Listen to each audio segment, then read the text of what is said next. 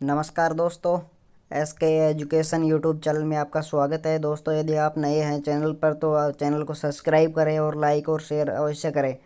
दोस्तों, रीट का एग्ज़ाम तेईस चौबीस जुलाई को सुनिश्चित किया गया है और इसके लिए बोर्ड ने दिशा निर्देश जारी कर दिए हैं। परीक्षा से एक घंटा पूर्व दोस्तों, आपको सेंटर पर पहुँचना ज़रूरी है, क्योंकि इसके बाद में आपको किसी भी कंडीशन में सेंटर के अंदर प्रवेश नहीं दिया जाएगा। क्योंकि दोस्तों, ये इसलिए किया गया है कि बोर्ड की जो ये परीक्षा आयोजित करवाई जा रही है, ये सुनिश्चितता के साथ संपन्न की जा सके।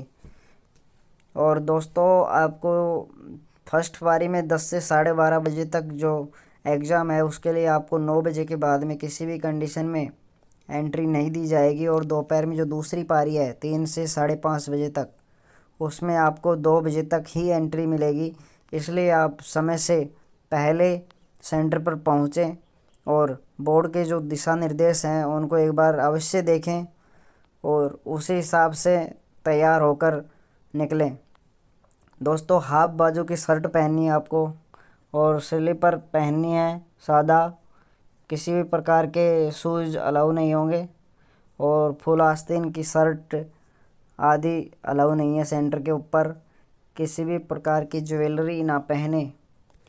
दोस्तों, जो तेईस, चौबीस जुलाई को जो रीट है, उसके दिशा निर्देश बोर्ड ने साफ़ साफ़ जारी कर दिए हैं। यदि इनमें किसी प्रकार से आपने ध्यान नहीं दिया तो आप चूक सकते हैं परीक्षा देने से। इसलिए दोस्तों, आपको ये ध्यान में रखना पड़ेगा। और इस बार नेटबंदी नहीं की जाएगी। क्योंकि बड़ी सख्ती के साथ एग्ज़ाम होगा। दोस्तों, इस बार रीट का पेपर आपको हाथ में, परीक्षा के बाद में हाथ में नहीं थमाया जाएगा क्योंकि आपको ओ एम आर सीट की कॉपी ही मिलेगी और जो भी पेपर होगा वो सीसीटीवी की निगरानी में होगा। इस बार रीट एग्ज़ाम होने के बाद स्टूडेंट से पेपर वापस ले लिया जाएगा। उन्हें सिर्फ़ ओ एम आर सीट की कार्बन कॉपी ही दी जाएगी। और जितने भी जिला कलेक्टर हैं, उनको साफ़ निर्देश जारी कर दिए हैं किस प्रकार से एग्ज़ाम के लिए सिक्योरिटी होगी, संबंधित अधिकारियों की बैठक ली जा रही है सभागार में। और वहाँ पर सेंटर जिन, जहाँ पर सेंटर हैं, उनके प्रिंसिपल को वहाँ बुलाया गया है और उनको जानकारी दी जा रही है।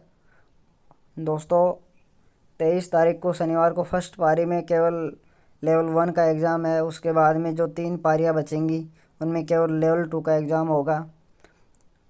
और बोर्ड ने, दोस्तों, इस बार बोर्ड ने साफ़ जारी कर दिए हैं कि किसी भी प्रकार की अवांछित गतिविधियाँ सहन नहीं की जाएँगी। दोस्तों, बोर्ड की साइट पर फॉरगेट चालान नंबर का ऑप्शन भी रिलीज़ हो गया है।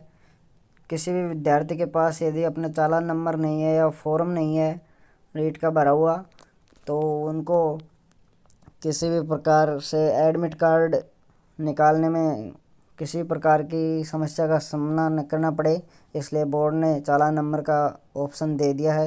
यहाँ से अपन चालान नंबर फॉरगेट करके और अपना एडमिट कार्ड निकाल सकते हैं। धन्यवाद दोस्तों, बेस्ट ऑफ़ लक।